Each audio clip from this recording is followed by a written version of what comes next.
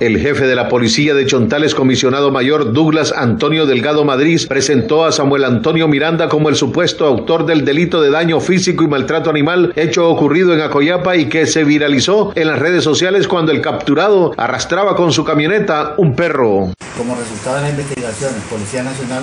determinó que los hechos ocurrieron en el municipio de Acoyapa, departamento de Chontales, que el autor es el sujeto Samuel Antonio Miranda González, de 41 años de edad, quien conducía la camioneta marca Hilux color plateada, placa M313359 de su propiedad.